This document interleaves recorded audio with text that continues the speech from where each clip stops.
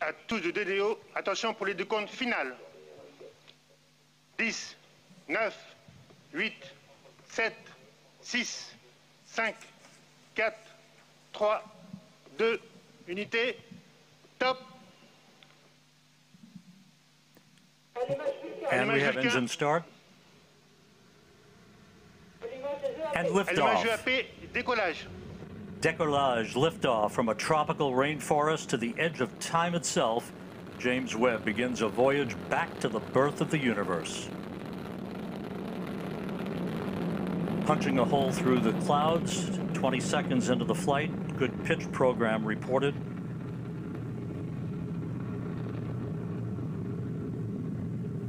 Trajectoire est nominale. Vehicle performance is nominal.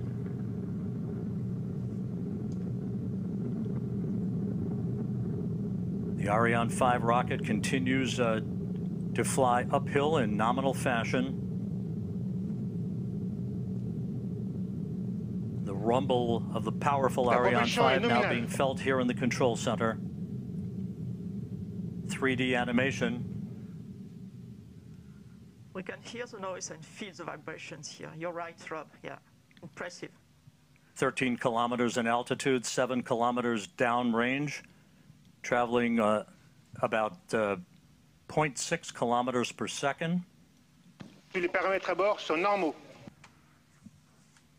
The trajectory reported to be nominal by Jean-Luc Voyer, the uh, range operations manager. You can see at the bottom of your screen, the yellow line is the trajectory plot, perfectly overlaid over the green line, which was the pre-launch trajectory.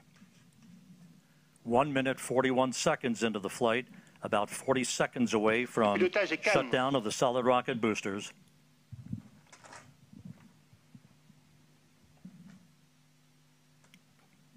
Coming up on the two minute mark into the flight.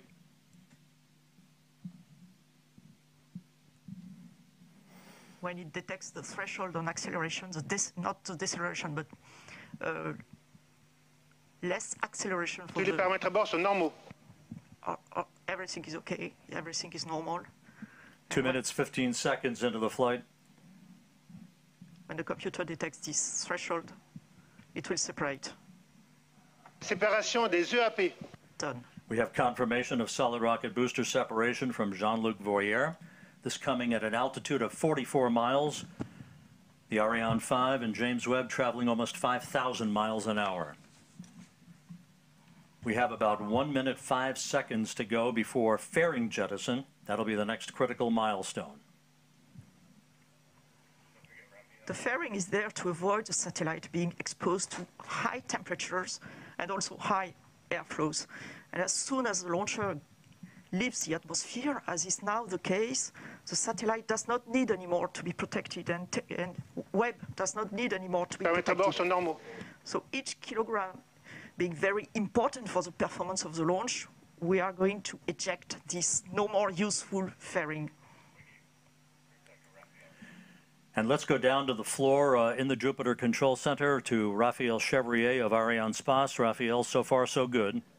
Hi, Rob. So far, so good. Everything is nominal, as uh, we say when attitude and trajectory of the Ariane 5 is going perfectly well. As you can see also on the yellow line on the screen, we had the confirmation of the uh, separation of the two solid boosters and now of the fairing, meaning that we have crossed the limits of the atmosphere. So everything is going super good. And the DDO just said that all parameters are going perfectly, perfectly smoothly. So let's continue the mission. And Raphael, uh, this is a view uh, from the upper stage camera called the Vicky Cam looking back at the James Webb Space Telescope. This is on about a 20 second delay or so because of the way the imagery is processed uh, here in the control room. There's your telescope ready to unfurl uh, its uh, wings basically and begin uh, its uh, journey to a, the Lagrange point, the L2 point, about a million miles away from Earth.